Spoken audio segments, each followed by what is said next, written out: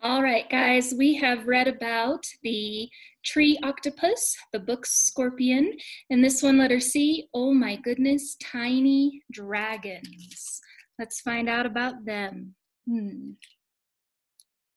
What's your favorite kind of pet? A roly-poly kitten, maybe? Or an energetic tail-wapping German shepherd? Or a delicate goldfish in a bowl? Maybe even a slow-moving box turtle. Those are all great pets, but have you ever thought about having your own personal dragon? Curious to know more? Come on, let's go on an adventure. For this trip, you'll need warm clothes, sturdy boots, and a flashlight with a strong beam. We're going to travel to the Eastern European country of Slovenia. Deep in the mountains, in the aquatic caves of Postojna, lives a species of cave-dwelling salamander that looks just like a baby dragon. It's known as Proteus anguinus, or more informally, the Olm. Now, let's be honest, you're not going to take an Olm home with you. They are aquatic cave dwellers after all, but why don't you stick around for a while anyway? Our tour is just getting started. Want to get up close and personal with a real life pocket dragon? Here we go. Olms can grow to be 8 to 12 inches long about the length of your forearm, with slithery snake-like bodies and slender limbs. They have three toes on each of their forelegs and just two toes on their hind legs. Basically, they look exactly like a tiny baby dragon. They have three pink fan-like gills on either side of their head, and their pale fleshy skin is so thin that you can see through to the shapes of their internal organs.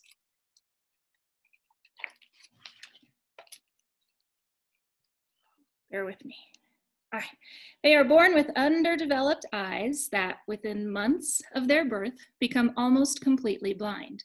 Many Olm's eyes are grown over with a thin layer of skin, although they can still register changes in light around them. As if to make up for this, Olm's other senses are supercharged smell, taste, and especially hearing.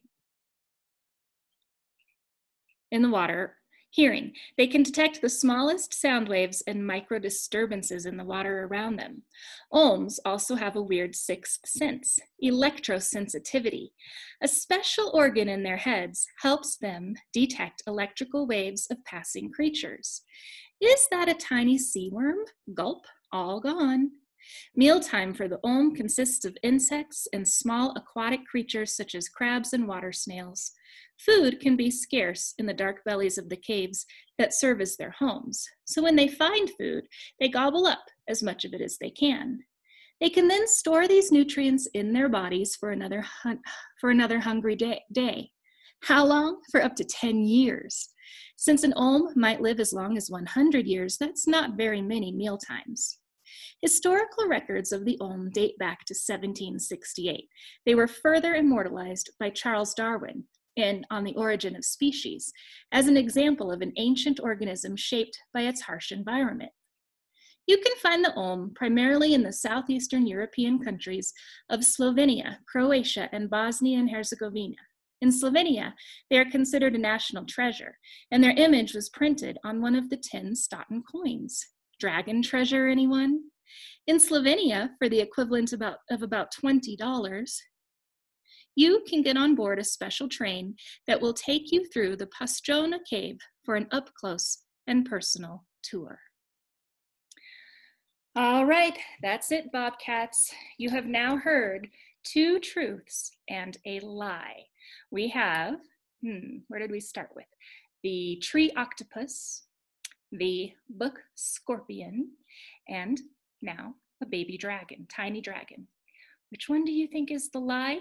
Be sure to tell me in the rest of our Google form. We'll see you next time.